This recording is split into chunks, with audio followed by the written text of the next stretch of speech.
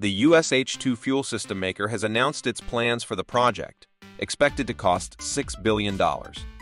Plug Power has announced that it plans to build three plants in Finland that will produce green hydrogen and ammonia and that are expected to cost about $6 billion to construct.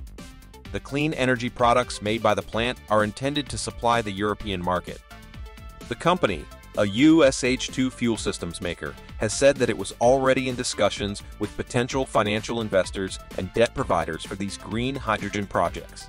Plug Power also intends to find industrial partners in order to secure offtake for the production it is planning.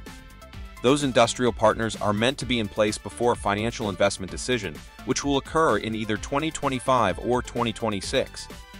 According to the company's chief executive officer, Andy Marsh, Plug Power has spent the last two years on the hunt for the right locations around the world. When you look at the Finnish grid, it's 87% renewable already. That really makes it much simpler and straightforward to generate green hydrogen, explained Marsh. Early details about the green hydrogen plants have been shared in terms of basic expectations. Of the complete investment into the plants in Finland, 25% is expected to come from equity, while the remaining 75% will be from debt, according to Marsh.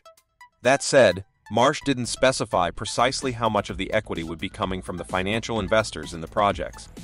Plug Power stated that it had secured land access close to three Finnish port cities for the construction of a plant that will produce liquid H2 and ammonia, one that will produce green hydrogen for green steel, and one that will produce H2 for transportation.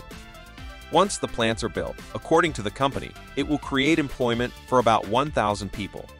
When they are fully operational, they will reach a production capacity of about 850 tons of H2 per day. The announcement was met with enthusiasm from investors, leading the shares at Plug Power to initially rise in pre-market trade with the news. Thank you for watching. Make sure to hit subscribe and grab our free H2 ebook for more updates. Also, leave us a comment and let your thoughts be heard.